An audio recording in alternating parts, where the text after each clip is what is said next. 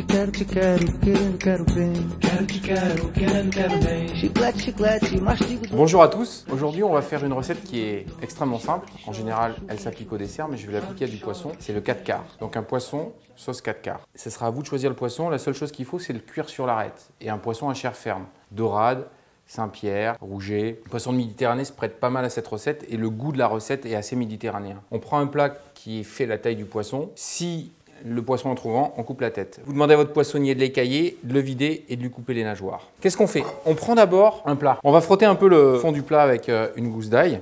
Un filet d'huile d'olive. Alors vous allez dire le filet il est gros, mais vous allez comprendre pourquoi il est gros. On l'étale au fond et ça va nous faire la sauce. Allez, on prend le poisson. Voilà. On va mettre quelques tomates que j'ai pris soin de laver.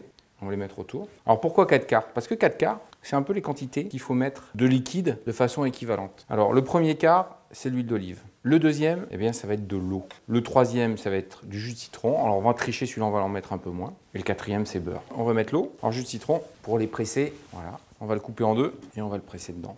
25 g de beurre, quelques olives euh, tagliaches, un bouquet de basilic. On va se garder quelques feuilles pour mettre au dernier moment dessus. Et puis on va en mettre un petit peu à cuire. Et on va surtout mettre les tiges. C'est prêt. Donc on a allumé un four. Si on est pressé à 220 degrés, si on a le temps, je préconise 180. On est parti pour 10 minutes de four.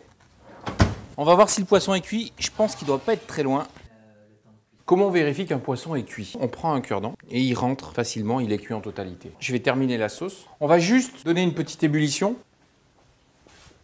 on va prendre un petit fouet. On voit que ça épicie déjà juste en fouettant parce que la sauce, c'est toujours du liquide et de la matière grasse. Et on va le faire un petit peu réduire. En attendant, on va supprimer du bout des doigts sans se brûler les tiges de basilic parce que c'est pas très agréable. On va rajouter au dernier moment une petite noisette de beurre, le reste des olives qu'on n'a pas utilisé tout à l'heure avec l'huile qu'il y a autour, un bon tour de moulin à poivre, une petite goutte de jus de citron.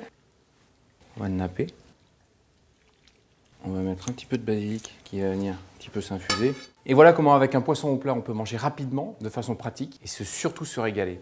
Donc j'espère que quand vous l'aurez fait, vous penserez à moi. Mais surtout, ce que je souhaite, c'est que vous apportiez votre touche à cette recette. Rajoutez une épice, changer un jus, changer une matière grasse, à vous de trouver. Parce que la cuisine, c'est pas une présence, c'est quelque chose qui se partage. Et c'est pour ça que j'ai voulu partager cette recette avec vous.